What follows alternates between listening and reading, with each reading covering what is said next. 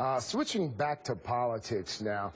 Fact checkers have had an absolute field day with the Republicans and the new CBO report, the Washington Post, the Associated Press, and PolitiFact all all rebutted claims that the report said Obamacare would kill millions of jobs. Moments ago, however, John Boehner, although he backed away from some of the more exaggerated claims, he still to be still seemed to be beating a very similar drum. This week, uh, we got a report from the Congressional Budget Office that reminded of us of one big reason, and that's the president's health care law.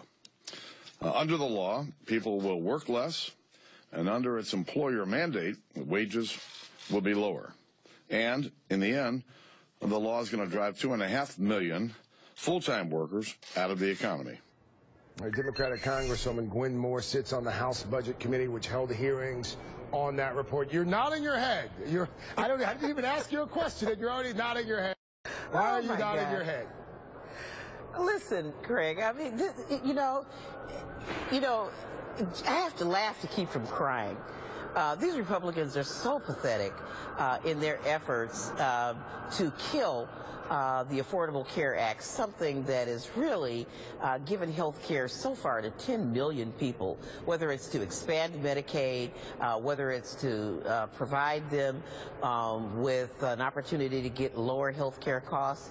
You know, what the CBO really said is that people were going to have freedom and choice, something liberty, something yeah. we thought Republicans were for, uh, that they're not going to find themselves at age 65 tired and sick perhaps and won't retire because they've got to keep their family uh, on their company's health care benefits. They're going to find that they'll be able to be entrepreneurs uh, because they won't be stuck in job lock. I, I, I, want, I do want to ask you about another part of that CBO report. And, you know, Paul Ryan mentioned this yesterday. There have been some other uh, lawmakers who have pointed to this as well. What's your response, though, to this idea that for some, the new health care plan, the new health care law, will be a disincentive to continue working, perhaps, or a disincentive uh, to work as hard, to work as many hours. What's your response to that?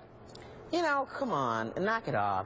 I mean, you can say that people don't want a promotion because if they make more money, they'll have to pay more taxes. I mean, it's the same sort of silly argument. Um, you know, this health care benefit is going to benefit millions of people who uh, found that they weren't having diseases diagnosed early and they were facing early unnecessary deaths because they had no health care, uh, greater mortality and morbidity rates and the Republicans are just so determined uh, that they would come up with any stupid economic argument they can.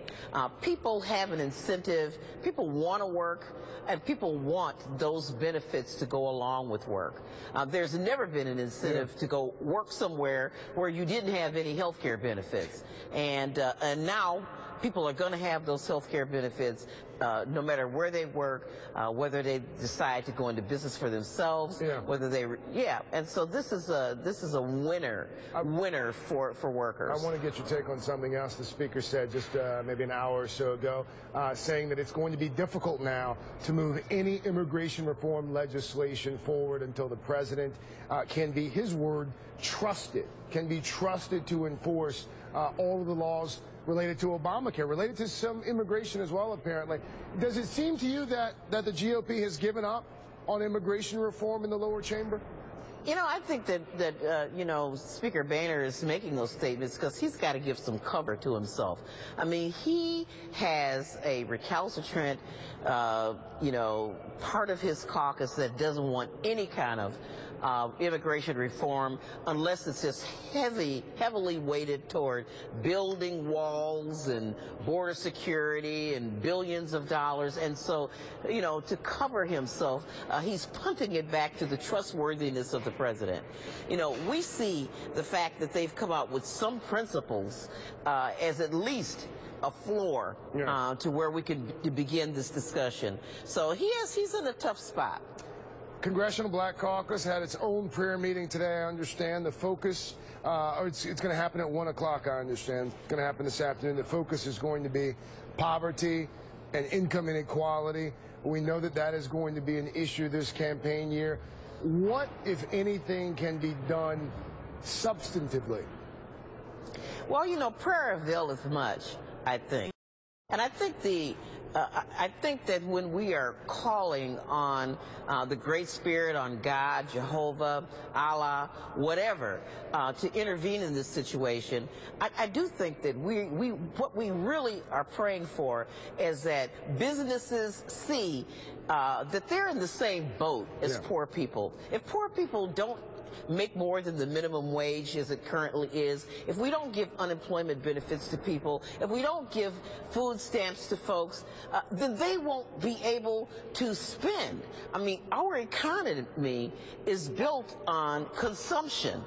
Uh, and so you're no better Yeah. off. If, you, if you're Best Buy or J.C. Penney or Piggly Wiggly, you're in trouble when people don't have money.